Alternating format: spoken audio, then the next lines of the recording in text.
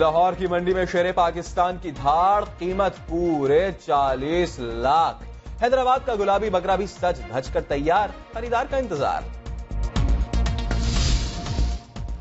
پشاور میں کھلونا بندوق کی خرید و فروخت پر ایک ماہ کی پابندی عائد۔ خلاف ورزی پر سیکشن ایک سو اٹھاسی کے تحت کارروائی کی ہدایت۔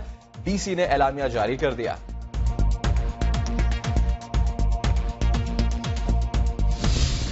میں ماشاء اللہ الحمد للہ میرے بولنے سے کیا کچھ زیادہ ڈفرینس پڑے گا؟ ایک دن دو دو پیشیاں اور ایان کی دہائیاں. کسٹم انسپیکٹر قتل کیس میں شامل تفتیش نہیں کیا جا رہا. تحریری بیان پولیس کو دے دیا، قبول نہیں کیا جا رہا.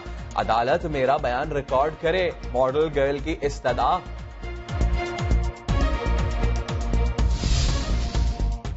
اور چلبل پانڈے ٹائیگر اور پریم سپر ہیروز کی طرح دشمنوں کا مقابلہ کریں گے. دبنگ خان کی نئی ویڈیو گیم نے دھوم مچا دی۔ دو دن میں ایک لاکھ ڈاؤن لوڈ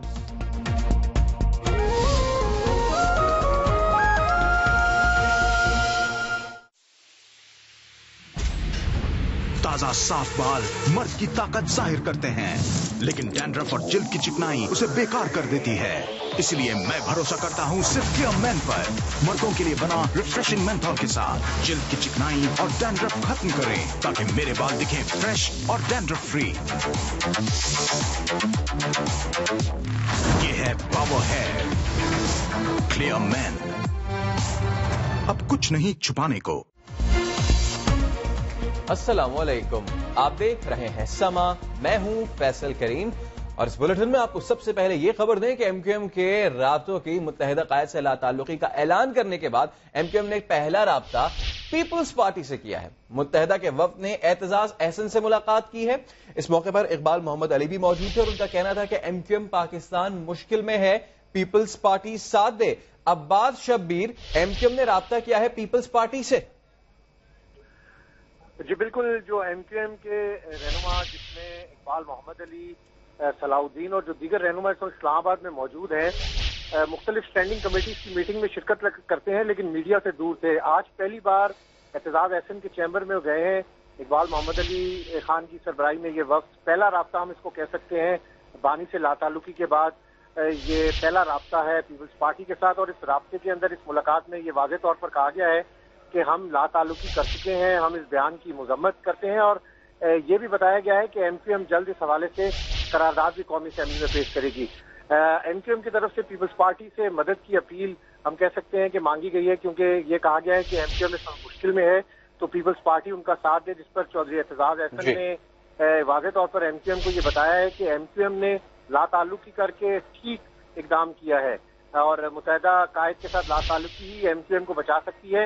یہ ملاقات آج پہلی ملاقات تھی بانی پاکستان کے خلاف بیان کے بعد این پی ایم کے وقت کی احتجاج احسن کے ساتھ اس ملاقات میں کمر زمان کائرہ بھی شریک تھے۔ جی۔ بہت شکریہ آپ کا عباس۔ آپ ہمیں اپڈیٹ کر رہے تھے ایم کیو ایم نے رابطہ کیا ہے پیپلز پارٹی سے۔ اقبال محمد علی نے رابطہ کیا ہے اعتزاز احسن سے اور ان کا کہنا تھا کہ ایم کیو ایم پاکستان مشکل میں ہے۔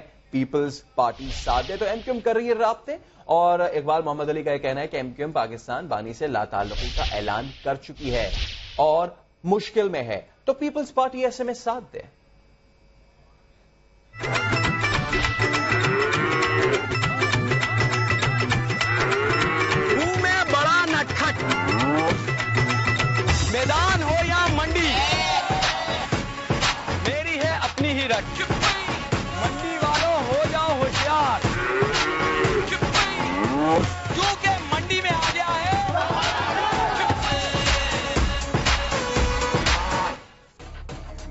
تو وقت کم ہے، مقابلہ سخت ہے، منڈی میں زبردست گیما گیمی ہے۔ بارشیں تھمی ہیں تو جانوروں کے اب ریٹ آسمان پر جا پہنچے ہیں۔ سب سے خوبصورت جانور کہاں ہے؟ کیا دام چل رہا ہے؟ کراچی سے پشاور تک سما کے نمائندوں کا جال پھیلا ہوا ہے۔ انہی سے ہم بات کریں گے کہ صورتحال کیا ہے اور سب سے پہلے رخ کریں گے ایشیا کی سب سے بڑی مویشی منڈی کراچی کا، جہاں موجود ہیں منڈی کے جٹ شعیب جٹ۔ شعیب، بتائیے گا، منڈی میں آج کل کس کا راج ہے؟ اور آپ تو کہہ رہے تھے کہ آپ پہنچے ہیں تو ریٹ بھی کم ہو جائیں گے۔ سننے میں تو آ رہا ہے کہ ریٹ بہت زیادہ ہے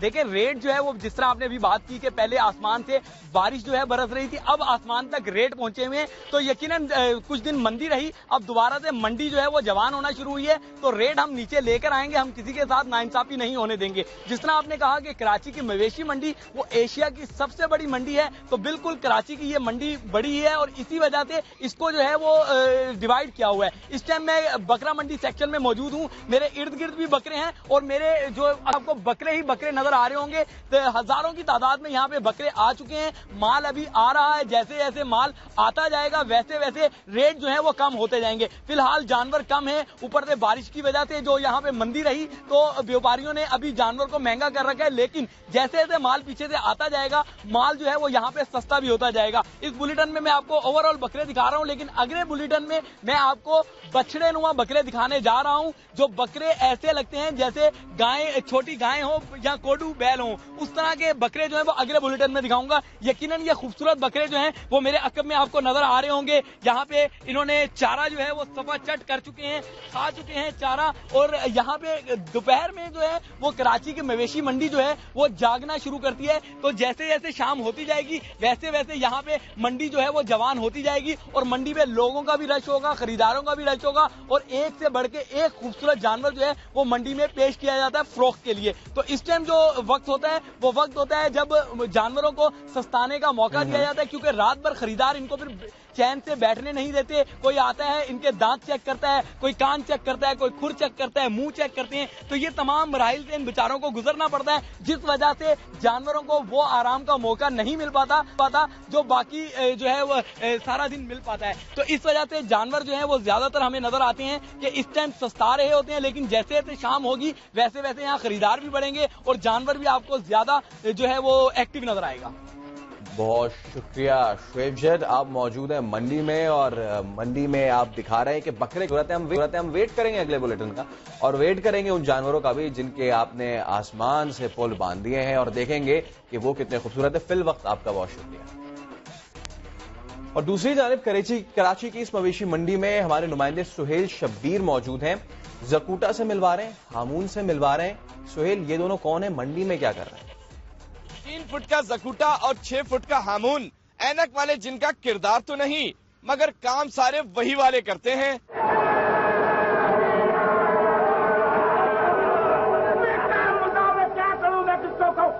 مجھے کام بتاؤ میں کیا کروں میں کس کو کھاؤں؟ تین فٹ کا زکوٹا قد تو ہے چھوٹا پر کھاتا بھی خوب ہے۔ غائب ایسے ہوتا ہے کہ ڈھونڈنے سے بھی نہیں ملتا۔ بچے بھی ایسے تفریح لیتے ہیں اس وجہ سے اور یہ کھاتا پیتا بہت زیادہ ہے۔ اپنی مرضی سے کھلا کھاتا ہے جہاں اس کی مرضی آتی ہے وہاں کھاتا رہتا ہے۔ یوں تو ہامون جادوگر کا کردار بچوں اور بڑوں کے لیے تفریح رہا ہے لیکن ایک ہامون اور ہے۔ ہے تو چھ فٹ کا سب پر روپ ڈالنے کی کوشش کرتا ہے مگر ہامون کی طرح ناکام رہتا ہے۔ ہمون کو دیکھ کے تو واقعی لگتا ہے کہ ہمون ہے جادوگر۔ جانور ہامون کی قیمت بائیس لاکھ جبکہ زکوٹا کی پانچ لاکھ روپے مقرر کی گئی ہے۔ کیمرامین محمد عاطف کے ساتھ سہیل شبیر سما کراچی۔ کراچی کی بات ہو گئی ملتان اب کے لیے چلتے ہیں۔ یہاں ریڈ برامن نسل کے بیلوں نے دھوم مچا رکھی ہے۔ ہیر اور رانجھا کی جوڑی ہے، محبت میں بھی بے مثال ہے۔ رمشا ملک اپڈیٹ کیجیے عید قربان کے لیے تو آپ نے اعلیٰ نسل کے بیل دیکھیں گے، لیکن آج ملتان میں آپ کے خاص نسل کی جوڑی دکھائی جائے گی اور وہ ہے ریڈ برہمن جوڑی۔ ہی رانجا کی یہ جوڑی میں آپس میں محبت بھی بہت ہے۔ ہمارے پاس ریڈ برہمن جو ہے، یہ ہمارے رانجا صاحب ہے ان کا قد جو ہے وہ چھ فٹ ہوگا آپ اپنی ہیر کے موجود ہے اور ہیر کا جو قد ہوگا وہ پانچ فٹ چھ انچ ہوگا۔ دونوں کھانا بھی اکٹھے کھاتے ہیں اور دونوں کی محبت ایسی کہ دونوں ہمیشہ ایک ساتھ رہتے ہیں۔ یہ تو میرے قد سے بھی بہت بڑا ہے، لیکن یہ جو نایاب نسل ہے، اس کو بہت اس کی حفاظت کی جاتی ہے اور ان کو دیسی خوراکیں جو ہے وہ کھلائی جاتی ہیں اور اس عید پر ان دونوں کو جو ہے ایک ساتھ قربان بھی کیا جائے گا۔ جی۔ رمشا ملتان سے اپڈیٹ کر رہی تھی اور عید قربا کے لیے لاہور کی منڈیوں میں بھی بھاؤ تاؤ چل رہا ہے لیکن اس بار ایک نیا رجحان سامنے آیا ہے اور وہ یہ کہ لوگ نجی فارم سے بھی قربانی کے جانور خرید رہے ہیں۔ وجہ جاننے کے لیے رپورٹ دیکھیے۔ خوبصورت رنگ اعلیٰ نسل اور وزن میں بھی ایک سے بڑھ کر ایک۔ ساہی والی ملتانی اور چولستانی۔ ہر طرح کے بچڑوں اور بیلوں کا ڈیرا بنے ہیں لاہور کے نجی فارم ہاؤسز، جہاں موجود یہ جانور خاص اہتمام سے پالے گئے ہیں۔ بارہ سے بارہ بھی جانور ہوتا ہے، خوبصورتی بھی ہوتی ہے۔ لوگ آتے بھی ہیں، جو ہمارے دو جتنے اندر جانور بنے ہوئے ہیں، وہ سب سیل ہو گئے ہیں۔ فارم ہاؤسز پر موجود جانور عام مارکیٹ سے نسبتاً مہنگے ہیں۔ اس لیے یہاں پر خریداری کرنے وہی آ رہا ہے جو کھلے دل سے پیسے خرچ کر سکتا ہو۔ صاف ستھرا ماحول ہوتا ہے تو آدمی آرام سے گھوم پھر کر اپنے جانور پسند کا وہ چوز کر لیتا ہے۔ فارم ہاؤسز میں آپ کو یہ تو بلیو ہوتا ہے کہ جانور انہوں نے خود پالا ہے۔ اور یہاں پہ رہتے ہیں، سارا سال انہوں نے دیکھا ہوتا ہے، ہم ویسے بھی وزٹ کے لیے یہاں پہ آتے رہتے ہیں۔ محنت کا بھرپور سلا پانے کے لیے ان جانوروں کو پالنے والوں نے ان کی قیمت دو سے بیس لاکھ روپے تک مقرر کر رکھی ہے۔ تگڑے پیارے جانوروں کا ایک ہی جگہ دستیاب ہونا خریداروں کے لیے آسانی تو ہے، لیکن مہنگا ہونے کے باعث بہت سے لوگوں کی پہنچ سے دور بھی ہیں۔ کیمرہ مین علی مشتبہ اور اقبال خان کے ساتھ سمر اقبال، سما، لاہور۔ ادھر فیصلہ آباد میں کونگو وائرس کے خلاف محکمہ لائف سٹاک نے کمر کس لی ہے۔ موزی وائرس سے نمٹنے کے لیے کیا اقدامات کیے جا رہے ہیں؟ مدثر نظیر اپڈیٹ کیجیے۔ جی بالکل نہ رہے گا بانس، نہ بجے گی بانسری۔